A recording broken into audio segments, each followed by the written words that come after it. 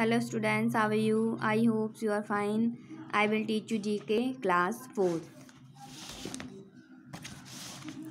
chapter 18, superlatives.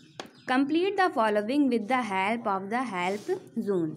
Number 1, the largest animal fair, Sonpur. Number 2, the largest lake, Vular Lake. Number 3, the highest dam, Bhakra Dam.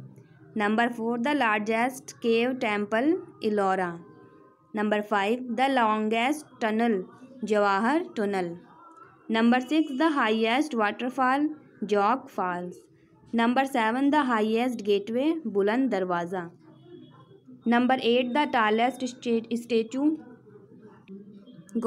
Gomateshwara number nine the highest award Bharat Ratna number ten the biggest church saint cathedral dear students आपको अपनी book में बिल्कुल ऐसे ही जैसे मैंने यहाँ लिख रखा है आपको आंसर अपनी बुक में ही लिखना है एंड आपको ये वर्क अपनी नोटबुक में भी फिल करना है आपको चैप्टर नेम लिखना है एंड इसी तरह आपको यहाँ पर ये वाले नेम्स लिखने हैं और उसके आंसर आपको उसके सामने लिख देने हैं आपको अपनी ये नोटबुक में करना है your eighteen chapter is complete goodbye